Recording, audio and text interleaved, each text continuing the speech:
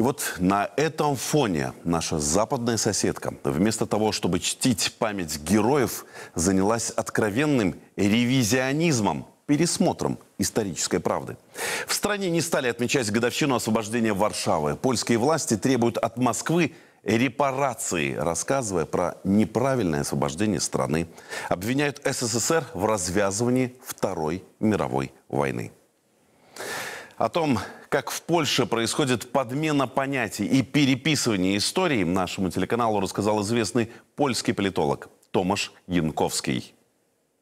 Официально политика сейчас польского государства, но она так сделана, что этой годовщины нет. А если есть эта годовщина, но это просто э, начало э, новой оккупации. Я, к сожалению, э, это могу, могу увидеть в нашей политике, что такая есть путь, чтобы поляки думали, что русский просто враг уже в szkołach, tak, no, niektórzy tam говорят, что это не было освобождения, а просто там новая оккупация. Конечно, что мы не можем так говорить, потому что если бы не было Красной Армии в Польше, ну просто поляков бы тоже не было.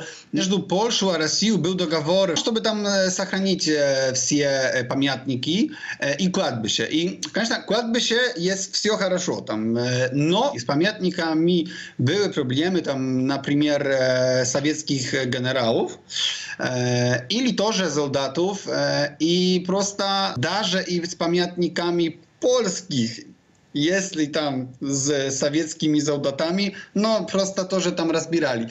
И э, есть так, что это, конечно, против этого договора, а никого, никто договора нового не сделал.